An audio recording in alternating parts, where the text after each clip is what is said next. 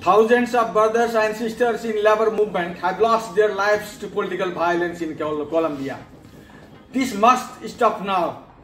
The people of Colombia deserve justice and peace.